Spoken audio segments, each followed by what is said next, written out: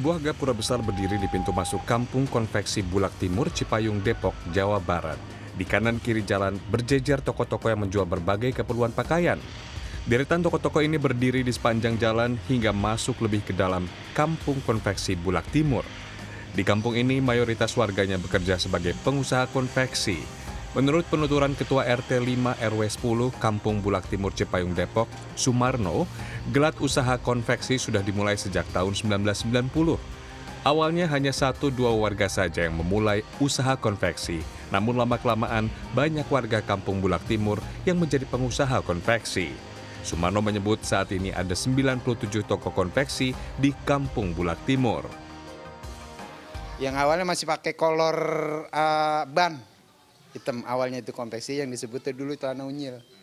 Nah seiring perkembangan zaman terus makin meningkat konveksi bahan.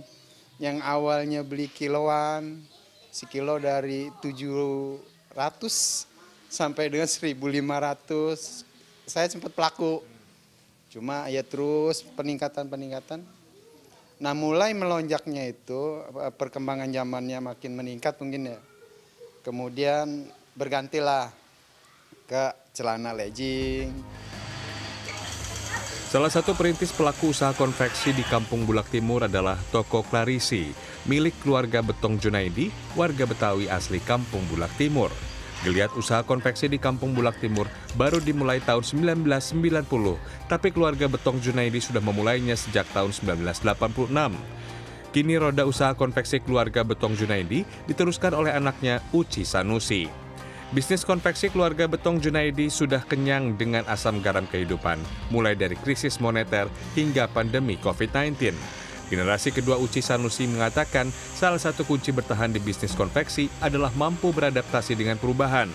Uci menjelaskan, pada tahun 1990-an, produk konveksi unggulan mereka adalah pakaian dalam wanita.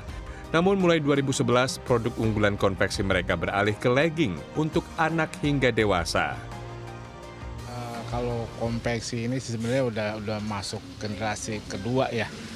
Uh, se sebelum saya itu orang tua gitu. Jadi mungkin kalau saya bilang generasi pertama itu orang tua itu masih ini dah istilah peralatan masih masih manual ya.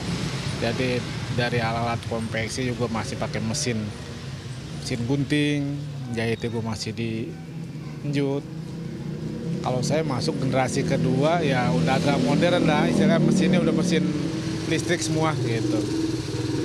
Ya alhamdulillah sampai saat ini bertahan gitu.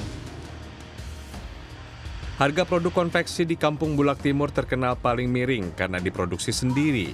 Banyak para pedagang yang mengambil barang dari Kampung Bulak Timur untuk dijual kembali udah langganan juga hampir tiap minggu. Karena di sini juga harganya murah-murah terus bisa dijual lagi buat dijual lagi. Teman suka ada yang mesen kan mau dong celana-celana jadi saya belanjain buat dijual lagi juga bisa. Ketua RT 5 RW 10 Kampung Bulak Timur Cipayung Jawa Barat Sumarno mengatakan rata-rata omset per hari dari 97 toko kampung konveksi mencapai 400 juta rupiah. Kisaran harga konveksi di Kampung Bulak Timur bervariasi tergantung jenis dan ukuran, namun di bawah harga pasaran. Sebagai contoh, untuk legging dijual mulai dari termurah Rp8.000 sampai termahal Rp15.000 per satuan. Semakin banyak barang yang dibeli, maka harga yang diberikan akan semakin murah. Nah, kaos ini adalah salah satu produk sentra konveksi Bulak Timur, Cipayung, Depok, Jawa Barat. Anda bisa lihat, kaos ini tidak kalah bagus kan dengan produk-produk impor. Nah, sebagai anak negeri, sudah saatnya kita dukung produk dalam negeri agar bisa menjadi tuan rumah di negara sendiri. Tim Liputan, Sian Indonesia, Depok, Jawa Barat.